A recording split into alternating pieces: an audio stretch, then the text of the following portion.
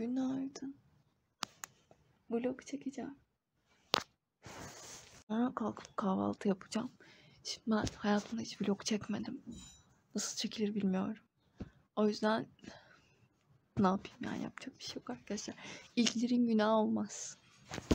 Var ve ve en önemlisi de çok özür dilerim uykumdan uyandıracağım ama bir dakika aşkım. Bir dakika. Bu şerefsizi bırakacağım gideceğim.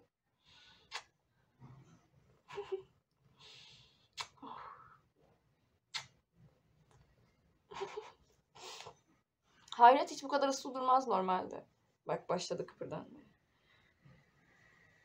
Bütün gece yani bilmiyorum hissettiğinden mi uzun süredir görüşmediğimizden mi ama bütün gece yanımdan ayrılmadı. Bütün gece beraber uyuduk. Sürekli bir şekilde geldi kolumun altına kıvrandı, karnımın, bacağımın yanına. Hep bir yere geldi kıvrandı. Tepinme kızım. Tepinme bir şey anlatıyorum şurada aşko. Ya bak işte bak. Ah, ayıp değil mi ya? Bir şey anlatıyorum insanlara. Şurada böyle bir düzgün çocuk olsam 5 dakika. Ha? Aferin. Aferin aşkım. Aferin güzel kızım. Oh, hadi git uyu. Uykusundan uyandırdım daha. Bu da hep uyuyor yani. Ne yapayım? Azıcık uyansın. Ben biraz halka oyna. Biraz kameralara oyna. Bir şovma bir şey yap ya. Diğer kediler gibi değil bu ya. Bu tam salak. Hayatıma göre en salak kedilerden bir tanesi. Öyle işte. Üzgünüm yani. Böyle sevdiğim herkesten ayrılmak kötü hissettiriyor. Ailemden ayrıldığım için o kadar üzülmüyorum mesela. Çünkü bilmiyorum. Aslında Ankara'ya gittikten sonra üzülebilirim. Çünkü çok uzun bir süredir evde olduğum için belki sıkılmışımdır ailemden. Ama gidince tekrar özlerim diye düşünüyorum.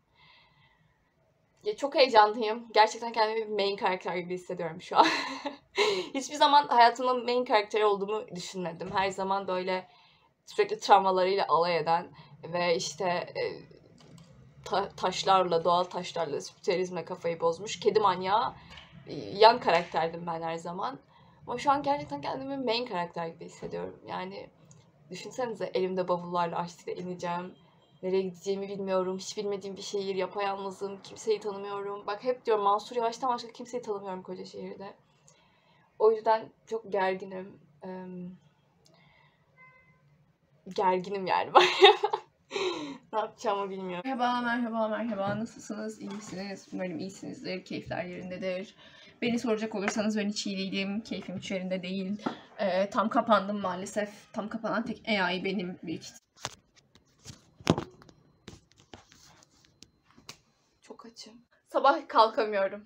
Gece uyuyamıyorum. Derslere giremiyorum. Girmek istemiyorum. Girdiğimde uyuyorum. O kadar yoruldum ki gerçekten. Hani gerçekten ben ikinci dönem okulu bıraktım. Büyük ihtimalle devamsızlıktan kalacağım bu sene. Yani haz- hazırlıkta devamsızlıktan kalan bir gerizekalı olarak tarihe geçeceğim büyük ihtimalle. Ve bu bugün ben daha sabah yeni uyandım ve çok uykum geliyor hala. Uyumak istiyorum ama uykumu düzene de sokmak istiyorum. Ya şeyim yok artık. Hani bende hep şey vardı. Sabah uyanırdım ve derdim ki tamam bugün hayatımı toparlıyorum. Ve o gün hayatımı toparlardım. Birkaç gün daha toparlardım. Sonra iki gün dağıtırdım. Sonra tekrar haydi toparlıyorum deyip tekrar kendimi toparlayabilirim. Kamera düşüyor. Evet şimdi ama bu videoyu beşinci kere çekiyorum. Gerçekten gerildim artık. Birinde yemek sepeti geldi. Birinde ablam geldi. Şuraya mı bakmam gerekiyor bilmiyorum işte bir yere bakacağım artık. Yapacak bir şey yok. Videoyu editledim. Dışa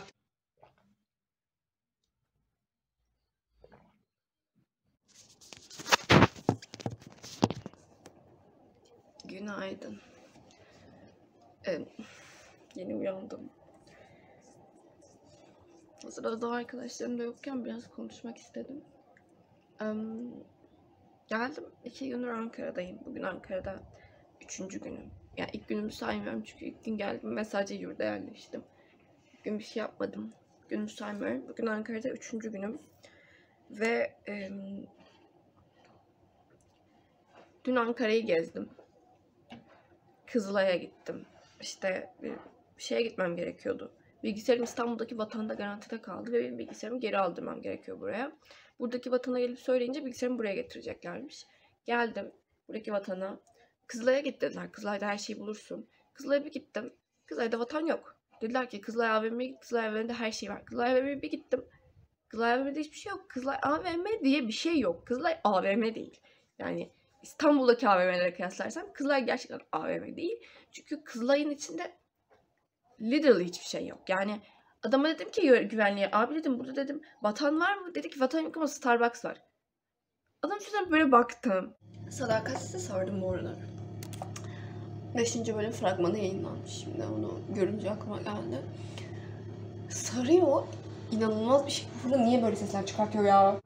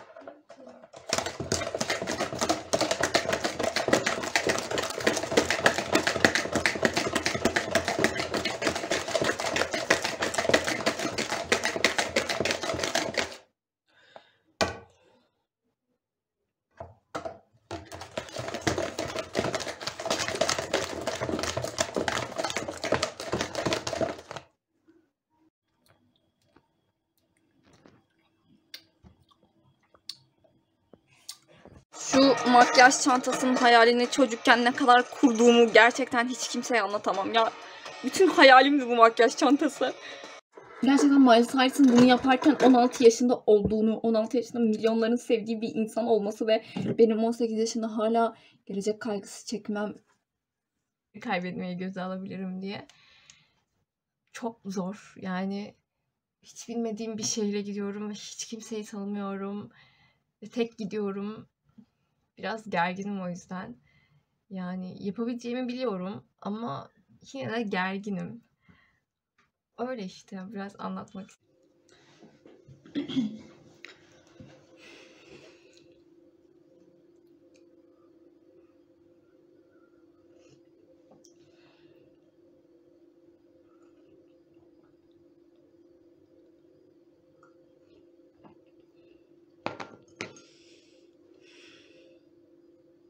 Uyandım.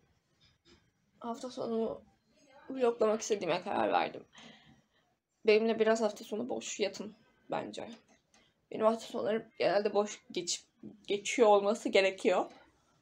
Ee, biraz hafta sonu boş yapalım. Sonra bir de hafta sonu dolu takılırız. Ama önce kahvaltı yapayım. Çok açım ve takılmış şarjı hiç yok.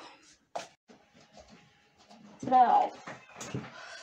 Gözüküyor muyum? Right. Hocam bir 5 dakika senin And drama is number one. Historical film.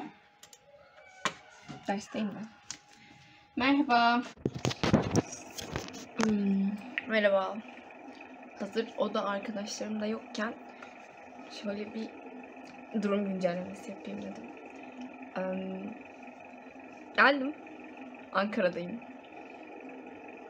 Tek başıma başka bir şehirdeyim.